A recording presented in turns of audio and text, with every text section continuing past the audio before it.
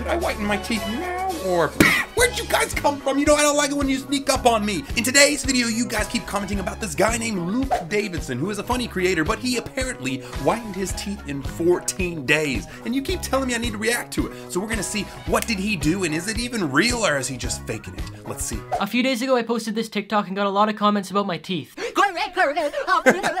What did I tell you about making those TikToks? This is totally me in the office. I'm trying to like be quiet so I don't disturb patients, but then I'm over here just making a loud noise too. So I totally relate, Luke. You need to brush your teeth. Your teeth are so yellow. You need to go to the dentist. Because I know my teeth are yellow. And last time I went to the dentist, I asked her about them, and she said they're just naturally that color. And if I wanted, I could try Crest 3D whitening strips, which is what I'm gonna do. Okay, first off, looking at his teeth, they are a little bit yellow, and he's actually 100% correct on this. Your teeth are naturally yellow. You can brush your teeth as many times as you want during the day. It's not gonna magically whiten them. There's a way that we do whiten them, and that is with hydrogen peroxide in strips, gels, everything else in between. The Crest White strips that he chose are actually some of my favorite, most cost-efficient ways to whiten your teeth. So, so far, he's doing pretty good. So the box I got says it removes over 15 years of stains, use once a day for 30 minutes, and I do it for a total of 14 days. So, so far, everything he's saying is completely right. A ton of other people say that they're gonna whiten your teeth in one hour or two days or whatever. Nah, it takes time. And so, if he's doing this 30 minutes a day for 14 days, I'm excited to see the results here. And before I put them on, I'm gonna show you guys what my teeth look like now.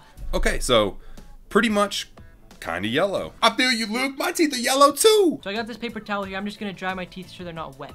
It's a smart move because the dryness of the teeth will help those uh, stick a little bit better. My man has been reading the instructions. Now, one thing you do want to worry about with these guys is don't get the strips on the gum tissue because the hydrogen peroxide will actually burn your gums a little bit and can even turn it bleach white. Here's a picture of what it looks like when you have white gums from bleaching, but it will come back and it's not that big of a deal. It just is pretty uncomfortable. So just try and avoid the gum tissue. Wrapping it around, looking good. It's so weird to see people struggle with putting stuff like this on teeth because I've literally been working in mouths for so long that it's like so second nature. I mean, he's really getting in there, isn't he? One of my least favorite things about whitening is the, the drool and the nastiness that just comes up. But you see those bubbles. Let's see what it looks like after one time. Ugh, so goopy and nasty. But these ones work really good because they stick to the teeth really well. Alright, we're on to day two. Still yellow. The fact that he just straight up is honest about that. He says, hey, day two, they're still yellow. They should be still yellow because it takes time, man. It's gradual. It takes at least a week or two before you see any results. Okay, so he's doing it in round two here. Interesting, he didn't say anything about sensitivity. I would be so sensitive, I couldn't even breathe. By the way, if you do have sensitive teeth, you can use a thing called remineralization gel, and it actually just basically plugs those holes and gets rid of that sensitivity faster for you. These things are really annoying. Yeah. All right, day three. Look at how much better he is at getting it on there. They are looking whiter. I mean, you can tell. So you can see this outer white layer here, and then it's a little bit darker under here. Probably just didn't get as good down here, but you can see that it will penetrate over time. So he's definitely whitening. He's definitely getting some whitening going on. Day five, looking good. Day six, they're definitely getting whiter. Woo, boy! Look at that! My boy got toilet bowl seat. Woo! That's actually a pretty good point what he's doing right there is he's taking his fingers and he's sticking it in there. That's a pretty good tip. I like that. Puts that bad boy all around to try and get as maximum around. I wonder if he does it on the lower.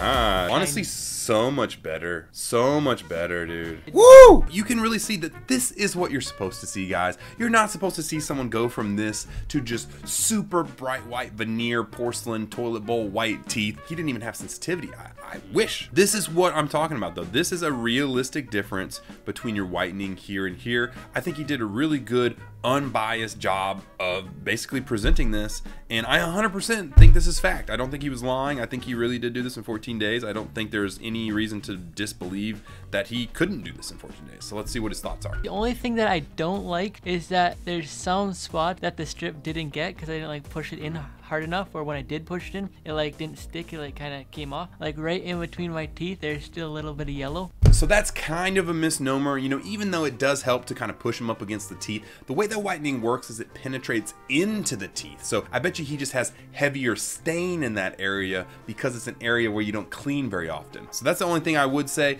is, is there's nothing the way that he did the strips that caused that. It's just the fact that in between his teeth were more stained first than the front of the teeth that he was brushing every day. So in conclusion, if you guys are watching this video because you have yellow teeth and you want to whiten them, I would recommend getting Crest 3D whitening strips. So yeah, Crest white strips are good. Actually, strips are some of my favorite ones, especially the ones that cling really good onto your teeth. You do have trays like the Opalescence Go that are good too. That being said, it does work. Whitening is great. It's not bad for your enamel at all, but it can cause sensitivity. In the end, Luke Davidson, I think you are not only a great creator, but I think you did a great job representing teeth whitening, and I think your result was great, man. So thank you so much for giving all that out to everybody to see. Well, now I look at my yellow teeth, and now I'm self-conscious, so I gotta go whiten my teeth. So make sure to like and subscribe. I'll see you guys in the next video.